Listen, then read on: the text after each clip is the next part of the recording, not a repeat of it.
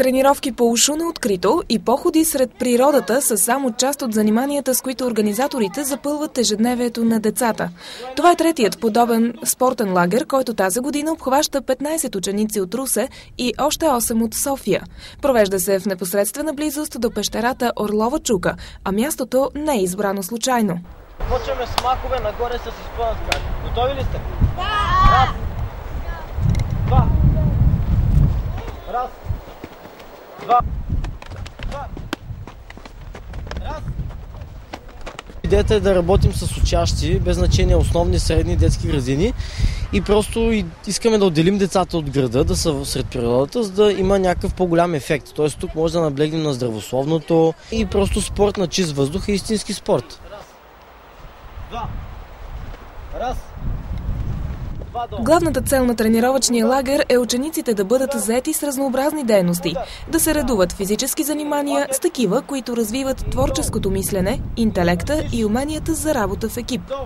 Интересното е, че винаги си играем с приятелите и ходим на поход, тренираме, те имат ежедневно по три сесии по час и половина тренировъчна сесия по ушо, спортно ушо главно, като тук наблягаме на базисни неща. Раз, два, три, четири и два.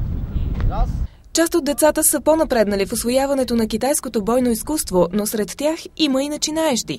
В случая това е търсеният резултат от треньорите. Сами да черпят опит едни от други, като преоткриват възможностите и талантите си.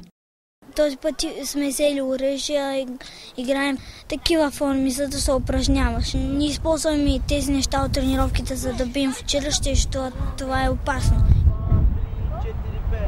Разделени на групи, малките бойци демонстрираха част от наученото до момента, но и не скриха умората натрупана от началото на седмицата. Въпреки това, никой не се отказа до края на тренировката. Дори най-малкият лагерник, петгодишният Преслав, който тренира упорито заедно с по-големите ученици. Успяваш ли да се справиш наравно с останалите момчета? Горе-долу, да. Измаряш ли се много по време на тренировките? Не. Аз малко се измарям и слягаме към 9. След края на физическата подготовка всички се отдават на кратка почивка и приключения сред природата. Там те се превръщат в малки скаути. Учат се да палят огън в гората, да прекусяват реки и да разпознават различните растения и животни. Имат елемент на оцеляване, където правим походи, по-късно ще има стрелба с лък. И другото, просто ги пускаме да си играят, те самите измислят невероятни неща, просто когато свободно щъкат сред природата. Примерно, онова нещо, което е всъщност камина, беше замък и всички трябваха да го отбраняват с шишарки, а другите събираха кофи с шишарки, трябваше да го превземат. Значи това на кого би му хрумнало?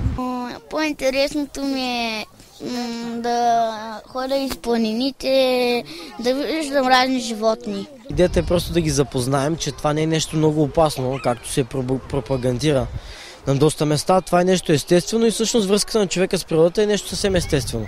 Не е нещо чуждо или непознато. Организаторите са решени да продължат традицията и до година, защото според тях това е начинът да се запали любовта на децата към природата, да се откъснат от света на технологиите и да създадат нови, реални приятелства. Освен образователно значение, Зеленото училище има благоприятно здравословно въздействие. Чистият въздух и активната физическа дейност са особено полезни за подрастващите.